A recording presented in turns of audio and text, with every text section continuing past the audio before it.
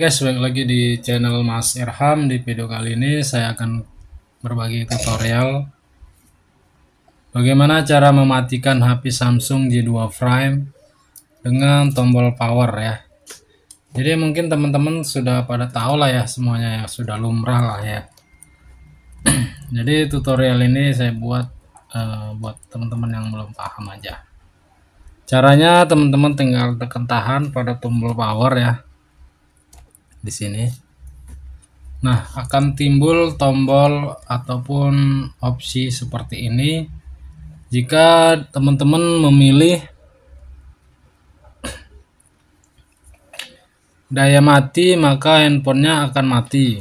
Tapi ketika kalian pilih mulai ulang, kalian handphonenya akan otomatis hidup kembali setelah mati seperti itu. Jadi teman-teman harus tahu teman-teman ini ingin menonaktifkan atau hanya ingin memulai ulang saja ponselnya. Jadi seperti itu. Jadi di sini sesuai judul kita pilih yang daya mati, kemudian kita pilih sekali lagi.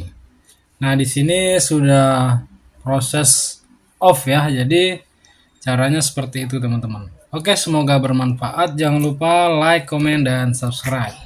Terima kasih, sampai ketemu di next video.